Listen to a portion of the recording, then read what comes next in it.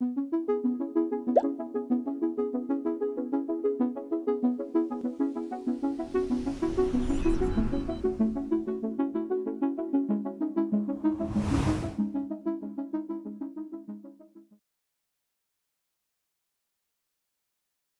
amigas y amigos del canal para estudiar con Ricardo. Bueno, vamos a ver un problema con triángulo rectángulo. Resulta que tenemos un edificio que tiene 100 metros de altura y proyecta una sombra de 120 metros.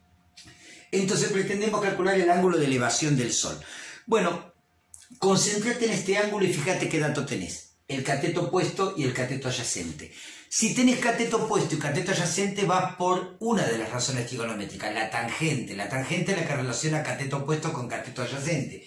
Y vas a poner tangente de alfa igual al cateto opuesto dividido el cateto adyacente, que son 120 metros. Bueno, entonces, ahora, metro con metro se va, ¿no? Alfa es el arco tangente del cociente entre 100 y 120.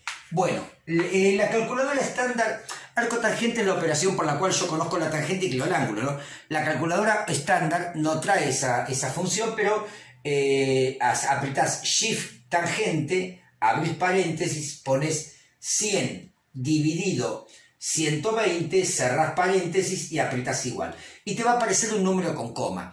Bueno, hay un botón, una tecla de la calculadora que te pasa los decimales a grados, minutos y segundos aprietas esa tecla y te va a dar un resultado de 39 grados, 48 minutos y dice 20,06 segundos, o sea que lo redondeo a 20 segundos. Y ahí tenemos el ángulo de elevación del Sol expresado en grados, minutos y segundos. Gente linda, en el estado de reproducción triángulos vas a encontrar cientos de ejemplos. Y nos vemos en el próximo video. Chao, chao.